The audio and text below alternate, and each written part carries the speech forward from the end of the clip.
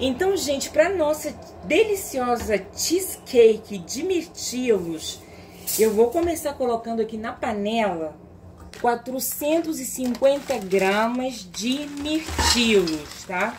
Eu estou fazendo uma receita um pouquinho maior, mas as quantidades que eu tô falando para vocês são da receita, tá?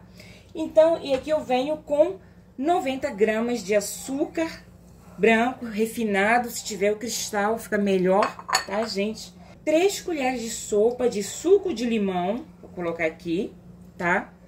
Aqui eu tenho 3 colheres de sopa de amido de milho. Aqui eu tenho meia xícara de água. Aí aqui eu vou misturar primeiro muito bem para dissolver o aqui o amido. Como vocês viram, eu tô usando aqui o mirtilo congelado, tá? Mas você pode usar o mirtilo fresco também. Aí aqui é simplesmente mexer até dissolver esse amido. Poderia também ter misturado o amido na água, sem problema. E vir colocando aqui na panela. Tanto faz, que você achar mais fácil. Tá bom? Aqui também, se você quiser, se você não quiser ficar mexendo, você pode reservar a meia xícara de água, dissolver o amido e colocar só no finalzinho, tá? Quando estiver quase pronto para sua geleia ficar pronta, tá bom? Aqui a gente vai precisar ficar mexendo porque já coloquei o amido. Então agora que eu vou ligar o fogo, tá? Aqui o segredo é só dar uma mexida até o caldo aqui da nossa geleia ficar um pouquinho grossinho, tá?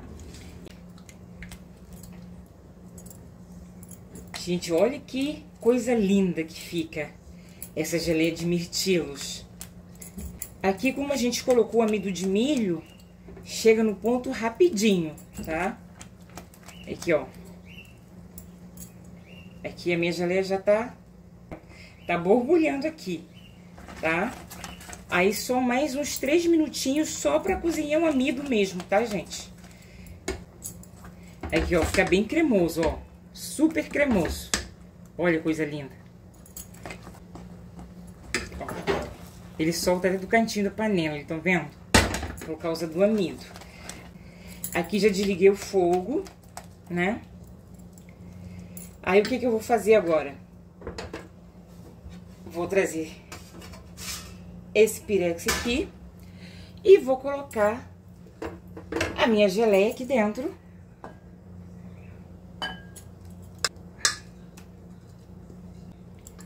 Aí, aqui, eu vou cobrir com filme plástico em contato e vou deixar esfriando aqui em temperatura ambiente, tá?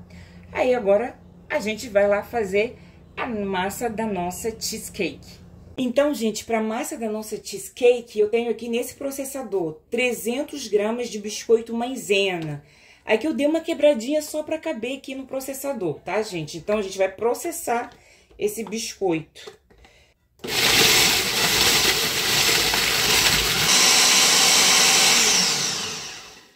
Pronto, aqui já processei. E vou colocar aqui nesse pirex. Então, gente, aqui agora eu venho com 150 gramas de manteiga derretida, tá?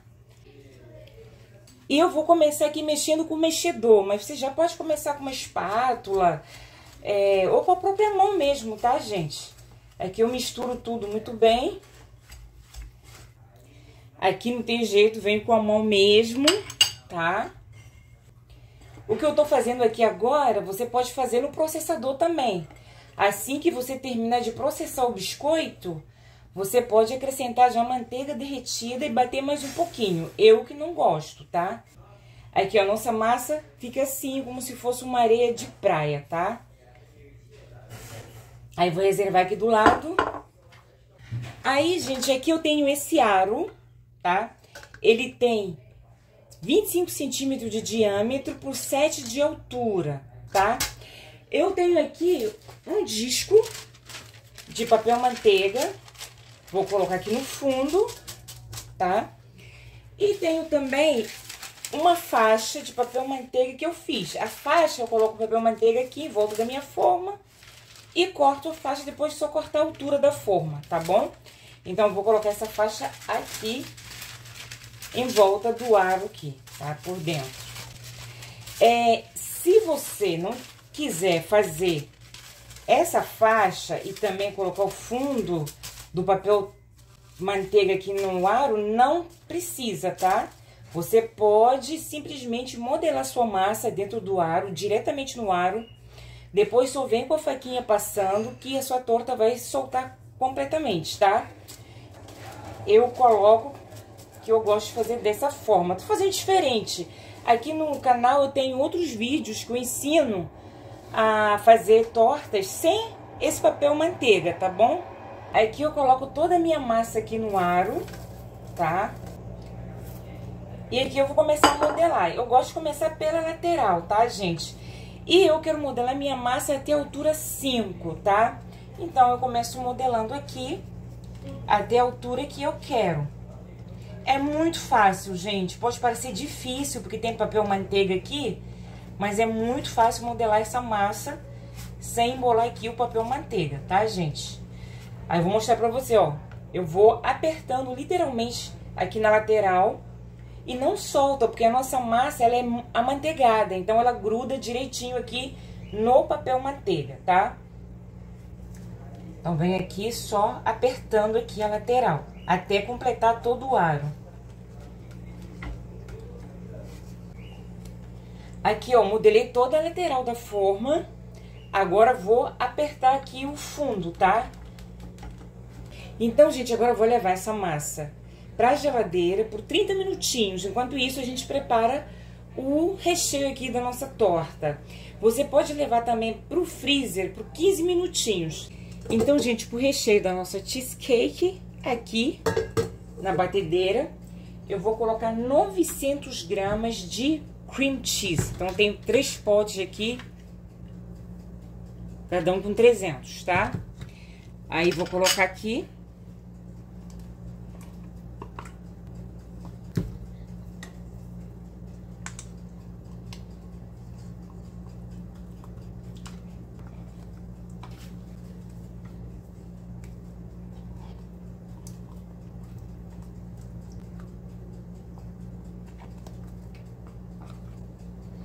E agora vem aqui com 250 gramas de açúcar branco refinado, tá? Aí aqui eu vou começar batendo esses dois ingredientes até ficar bem lisinho, tá?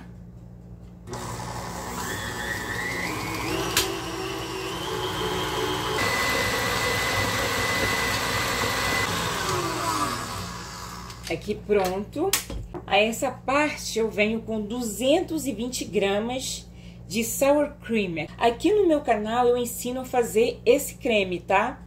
É um vídeo curtíssimo, deve ter 5 minutos e pouco, é super fácil de fazer, tá, gente? E vou colocar o link na descrição do vídeo. Se você não quiser fazer o sour cream, você pode é, substituir por iogurte, tá bom? Principalmente o iogurte grego, que é mais é, azedinho, tá? Aí venho também com meia colherzinha de chá de sal, tá? Venho aqui com a raspa de limão siciliano. Aqui são raspas de dois limões, tá, gente? Vou colocar aqui também. Aí aqui vou bater pra misturar bem, tá, gente?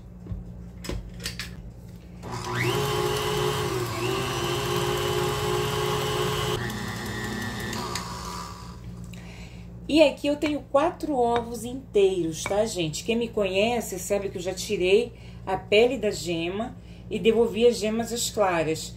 Eu terei que colocar de uma em uma unidade. Então, o que eu vou fazer? Vou ligar a batedeira e vou colocar aqui o ovo de quatro vezes, tá? Aí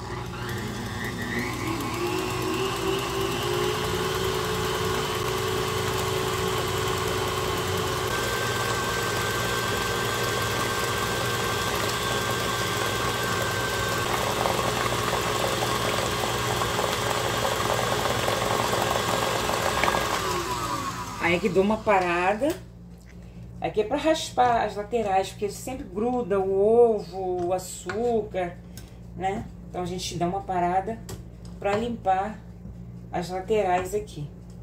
Bater.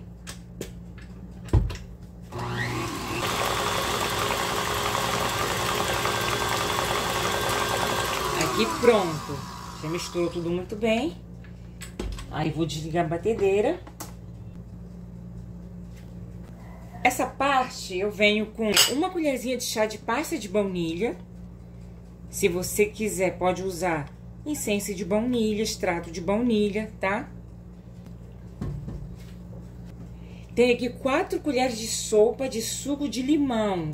Vocês viram que as raspas de limão que usei é de limão siciliano. Então, o suco também que tô usando é do próprio limão siciliano, tá?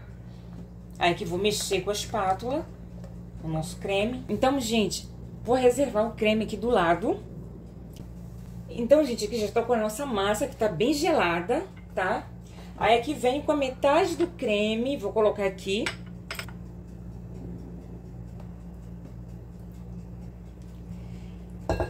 Aí, vou pegar a nossa geleia de mirtilo que a gente fez. E eu vou colocar aqui mais ou menos umas 3 colheres de sopa aqui nessa parte. Então, eu coloco aqui em porçãozinhas. Ó, coloco um pouquinho aqui, um pouquinho aqui, fazendo assim umas ilhas, tá? Aí você pode pegar um palito de dente, aqui eu tô pegando, eu tô usando uma esteca, eu venho aqui e faço uns riscos aqui, tá? Aí venho com outra metade e vou colocar aqui. Perfeito. Aí venho novamente, assim, meia colher de sopa, fazendo umas ilhas aqui. Novamente, venho aqui e só faço aqui marmorizar, né, gente, que chama essa técnica, ó. Pronto. Aí que eu vou levar pro forno para assar a 180 graus, né? Por uma hora e vinte, uma hora e meia, tá? Eu toda vez que eu faço uma cheesecake aqui no meu canal, trago sempre uma técnica diferente, né? Algumas técnicas se usa e vocês poderem escolher qual que vocês gostam mais, qual vai ser mais fácil para vocês, tá bom? Então aqui hoje vou assar também de forma diferente, tá? Então vou mostrar para vocês como é que eu vou colocar a minha cheesecake no forno para assar, tá bom, gente? Eu já liguei o forno a 180 graus e na grade de baixo eu coloquei um tabuleiro com um pouquinho de água, dois dedos de água. Conforme a sua torta vai assando, se a água secar, você vem com mais dois dedinhos de água e coloca ali, tá bom? Mas não deixa a água secar completamente, tá bom? E aí agora eu venho com a cheesecake e coloco na grade de cima, tá, gente? Aqui, ó. Aí eu vou deixar ela assar nessa grade de cima. Na grade de baixo a gente tem a água, tá?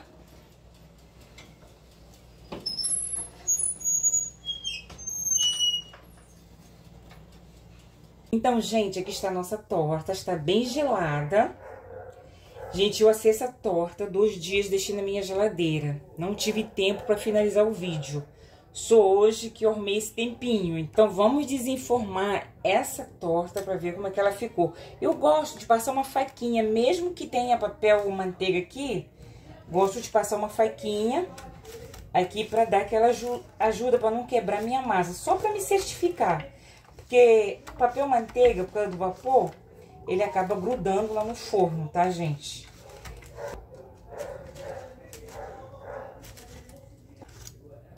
Esse agora vai sair. Vou colocar aqui esse frasco que ajuda bastante. E venho aqui pressionando com cuidado, tá, gente? Pronto, ó. Solta aqui a fita, ó. Olha só que facilidade, gente. Tira aqui, tiro pra cá.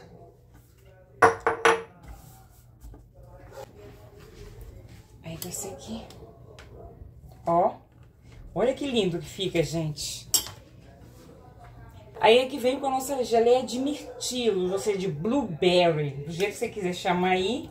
Aí eu vou colocar aqui o tanto que eu quiser. Você pode colocar aí o quanto você quiser. Pode colocar pouco, pode colocar muito, né? É que eu vou colocar tudo que eu fiz aqui. Na hora de fazer a geleia, você pode colocar um pouquinho mais de água também. Você vai deixar a sua geleia mais cremosa. Você deixa na textura que você quiser, tá, gente?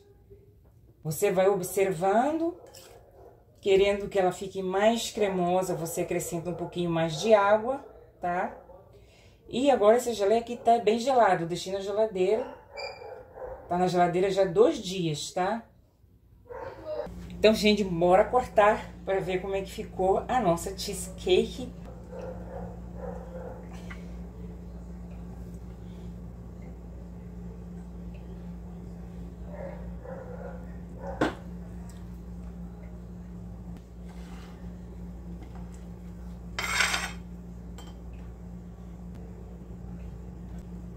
Uau, gente, olhem isso! Que maravilha! Olha essa torta, gente. Olha que espetáculo. Gente, não dá aquela vontade de comer? Bom, agora vamos lá. Hum, que cremosidade, gente. Hum. Meu Deus. Pensem numa combinação maravilhosa. Cream cheese, limão siciliano e mirtilo. Gente, meu Deus, que explosão de sabores na boca. Hum.